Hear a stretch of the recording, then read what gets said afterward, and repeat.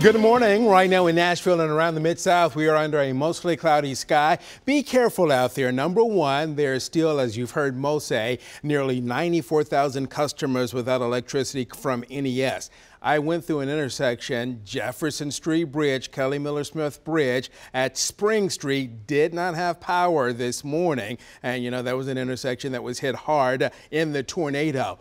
Be careful if you come to an intersection, as Rebecca would tell you, treat them as a four-way stop if they do not have a, a, power light there. And that was the case for two intersections right there at the Jefferson Street Bridge this morning.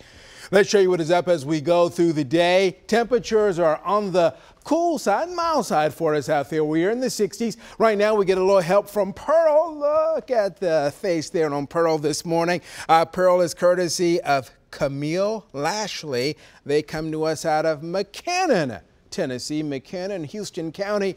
Good morning to all of you. A nice warm up is on the way for later today. Temperatures again between about 75 and 80 going into the afternoon.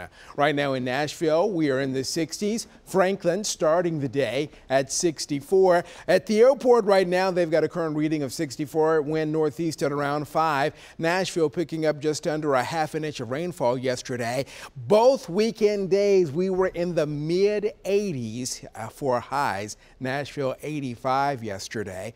There you see just a couple of spotty showers those should gradually pull on off toward the south. The front is now just to the south of us, but that front will retreat northward later today, helping to aid in a shower and a storm threat later today and for tonight. So right now, most of the area with a level one out of five risk, but from Clarksville, land between the lakes back into West Tennessee, it's a two out of five risk. So here is ExactTrack taking the morning showers, pushing them to the south, which will open the door for a lot of you to get a pretty decent day for most of the day. Now, by afternoon, there may be a shower or a thunderstorm. Then here comes that next little wave of rain and storms moving across the mid-state for us this evening. Showers and storms, they'll pull on through. There may still be a few showers and storms on the backside of this. For tomorrow, no severe weather, but still scattered showers and a couple of thunderstorms on Tuesday.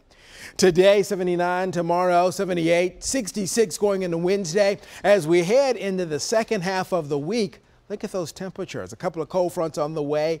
40 Friday night, 38 on Saturday night.